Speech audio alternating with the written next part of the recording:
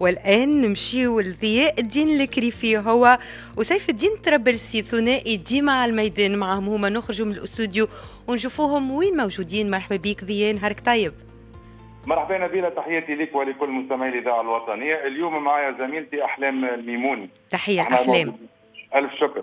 اليوم باش نحكيو على توسيعة أشغال توسيعة المدخل الجنوبي للعاصمة. donc فقرة ضياء في الميدان. تفضل يوميا يوميا نمر واحد من أربعة ونص خويا تبدا المعاناة نتاع الناس. ثلاثة كيلومتر تنجم تعملهم في ساعتين. عادي جدا. ثلاثة كيلومتر في المدخل الجنوبي العاصمة.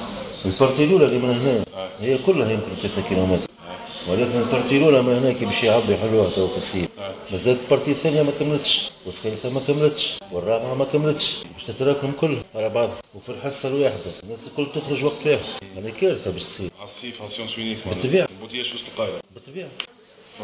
قسما بالله عليك يكمل الخدمة الخمسة يوصل المروج السبعة. الصباح يخدم ثمانية ستة وأربعة. نقعد نطيش في قهوة ساعتين خويا وأنا نعاني المعاناة تاع المدخل الجنوبي للعاصمة قاعدين نستناو في البروجي صافي دي زاني. حتى كي باش نمشي للحمامات ولا النابل ولا أي بلاصة باش الشارع الأخرى معناها وليت نتعب معناها بيرسونيلمون وديما جو بوز لا كيستيون وقتاش باش يوفى البروجي؟ إن شاء الله يوفى البلوتو بوسيبل نتعطل ياسر ومبوتياج وغبرة وفي الشتاء مطر في الصيف غبرة. هو كان في جاء عبد العزيز العروي. حي روح احكي عليه. القنطرة هذي تن كبرت معاه الحكاية مع ما يلزمك تبدأ تحكي على القنطرة هذيك يلزمك تعمل الضربة نتاع عبد العزيز العروي.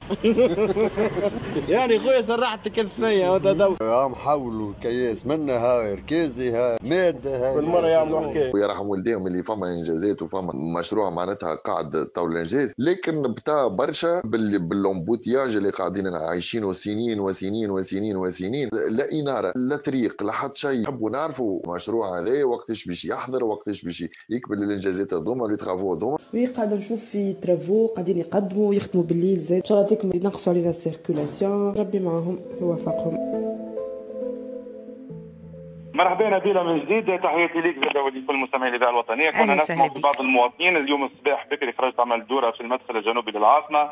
وما أدراك ما المدخل الجنوبي للعاصمة. معدل مليون مواطن كل يوم يا نبيلة في حدود تقريبا 200 ألف سيارة يوميا. وأنا تو ناخذ المعلومات والأرقام الصحيحة ماذا بيا اليوم.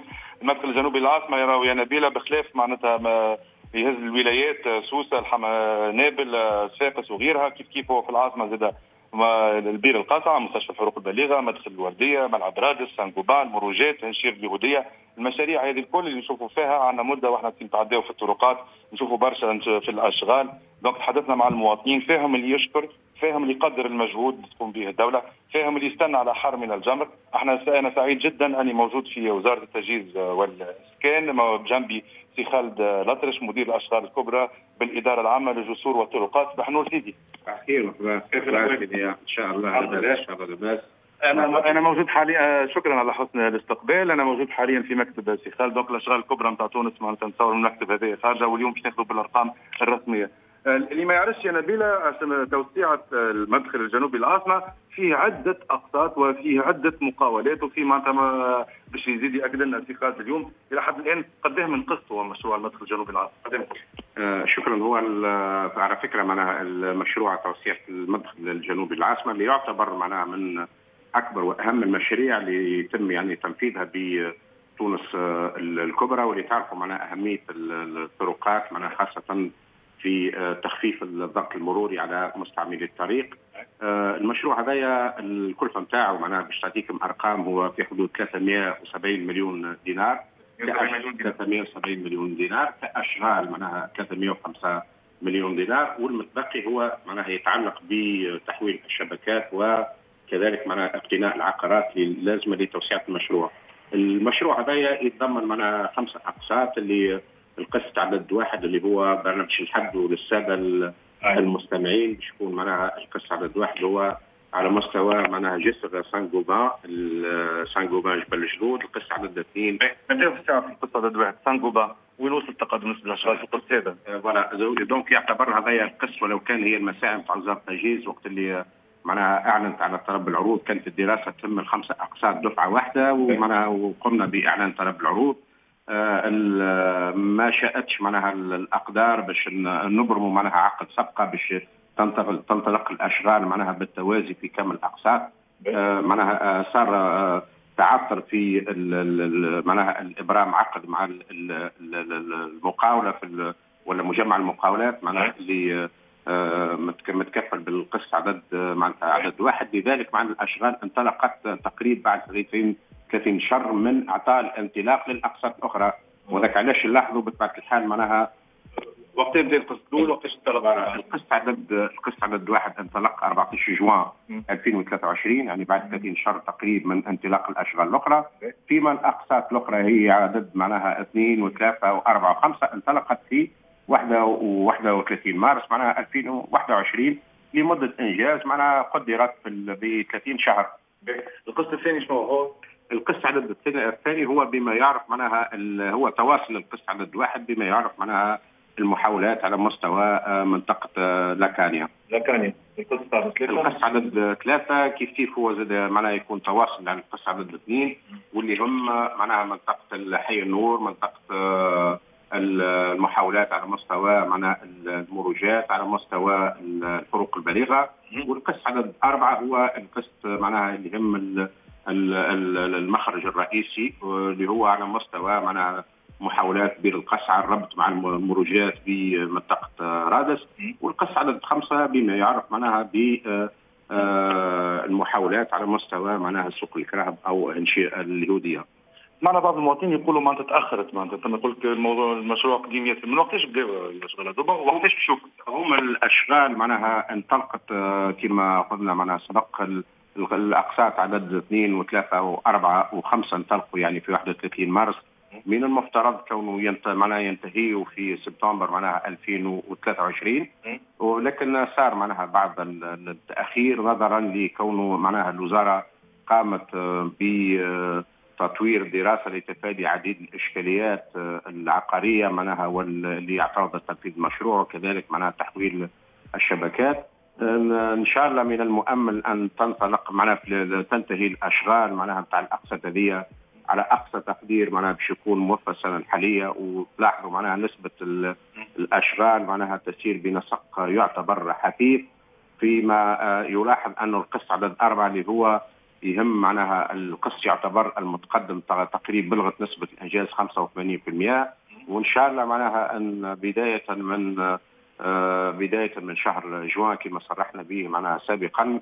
باش يتم معناها الشروع في استغلال بعض المكونات خاصة معناها الجسر الجديد اللي يربط يعني منطقة السوق الجملة بالمروجات علاش معناها إحنا طريقة الإنجاز هي معناها أن يلزمنا في نفس الوقت معناها نأمنوا السيولة والحركة المرور وكذلك معناها فما عديد معناها الصعوبات اللي تهم خاصة معناها طريقة التصرف في حركة المرور خاطر لو كان إحنا فما إمكانية كونه نغلق حركة المرور بطبيعه الحال باش تكون عملية عملية اللي هي صعيبة مستحيلة مش حتى صعيبة ولكن هذا باش يسهل لنا عملية الإنجاز. إحنا الشيء هذا donc لازمنا نوفقوا بين معناها آه، آه، استمراريه حركة المرور وكان تلاحظوا معناها السادة المستعملين معناها الطريق ككل.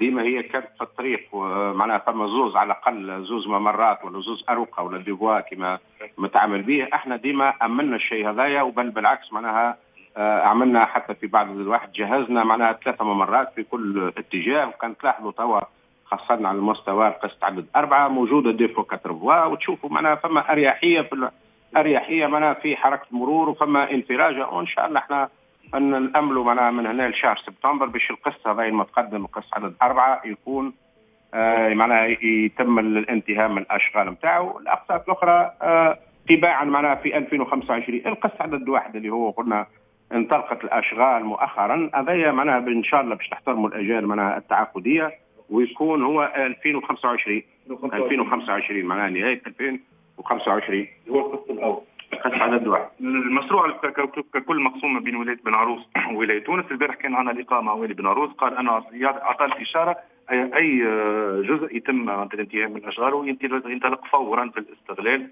هذا كان تاكدون اي بالطبع الحال بالطبع الحال هذا الهدف هو معناها اسبقنا وعملنا جلسات معناها تنسيقية مع السادة ولاة معناها السيد ولي تونس والسيد ولي بن عروس معناها اللي كيف كيف معناها هما يقدموا يد المساعده لتذليل جميع الصعوبات. صعوبات تجد على الاراضي الحال بطبيعة الحال إحنا الاتفاق معناها هذا الهدف نتاع الوزارة. إحنا القسط اللي معناها يتم ان يتم الانتهاء منه يدخل مباشرة في معناها في الاستغلال وهذا كان بطبيعة الحال بالاتفاق مع السادة الولاة وبطبيعة الحال هم ساهرين معنا باش لحسن معناها تنفيذ المشروع إحنا آه ما نبخلوش معناها على السادة المستعملين الطريق باش الجسر اللي اللي اللي معناها يتم ولا مكون من مكونات المشروع كما نشوفوا فما معناها الممر المترجلين اللي توا يربط معناها على مستوى غابة بن عروس والمروجات يعني حالما أن أنهينا معناها الممر المترجلين الجديد قمنا بإزالة معناها الممر القديم وكذلك بالنسبة للجسور حتى في نفس في نفس الوقت لازمنا نامنوا معناها استمراريه سيولة حركة المرور. قلت تم هدم عدد من المنشآت القديمة كيف ما تم أكيد تم بناء عدد المنشآت الجديدة، شنو العراقيل؟ ثم إشكال عقاري في العراقيل؟ أه خلت التأخير هذا اللي المشروع المشروع بطبيعة الحال ما تعرفوا المشروع هذايا آه إنجاز معناها توسع توسعة بالحجم هذايا معناها تقريب معناها آه اللي متواجد في منطقة عمرانية وتعرفوا اللي هي الشبكة معناها المنطقة هذه مكتظة بشبكات مختلف الشبكات العموميه اللي تأمن معناها جميع الخدمات كالسواء من المياه والصرف الصحي والاتصالات والكهرباء وكلها بطبيعه الحال هذه في نفس الوقت معناها حافظنا على الاستغلال على الاشتغال نتاعها باش تامن معناها جميع المرافق وفي نفس الوقت معناها هذايا اعترضنا بعض الاشكاليات العقارية اللي بطبيعه الحال هذايا آه هذايا نعرفوه الشيء نعرفوه لكن الاهم حاجة اللي قمنا بها هي كونه التقليل من التقليل معناها من نسبة العقارات اللي كانت معناها تعيق. ونعرفوا أهم إشكال ديما يمثل هو اللي يمثل معناها عائق لتنفيذ المشاريع هو الإشكاليات العقارية.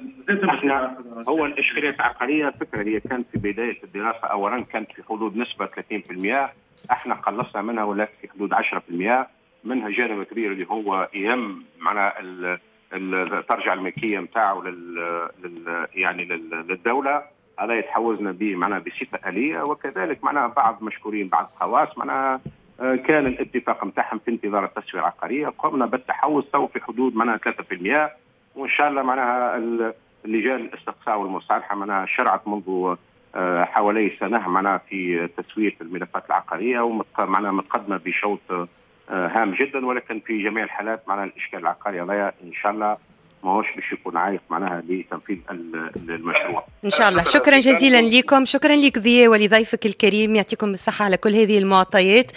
قبل ما نسلم عليكم مستمعينا نحن سؤالنا كان حول الاتفاقية اللي صارت مؤخرا بين تونس وفرنسا والنمسا وقلنا الاتفاقية هذه لإنتاج الهيدروجين الأخضر فالإجابة أكيد أعطيتوها صحيحة. الاتفاقية الهدف الأساسي منها أنه يتم إنتاج الهيدروجين الأخضر مش يتم إنتاج 200 ألف طن من الهيدروجين في مرحلة أولى مع تركيز 5 جيجاوات من الطاقات المتجددة في أفق 2030 ومن المتوقع يتوقع أنه توصل طاقة الإنتاجية إلى مليون طن سنويا في المرحلة النهائية للمشروع.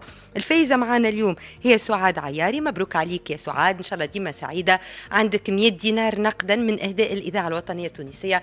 ما عليك كان تدخل على البريفي تمشي للخاص آه، في المساجغي نتاع الإذاعة الوطنية نتاع الصفحة اللي جاوبت عليها وتبعت لنا رقمك مش هكاكا نسقوا معاك عملية تسلم ل 100 دينار. أنا هكا نكون وصلت لختام اللقاء. إن شاء الله نهاركم أسعد الأيام. شكرا ليك مروان الدريدي في الإخراج الإذاعي. شكرا ليك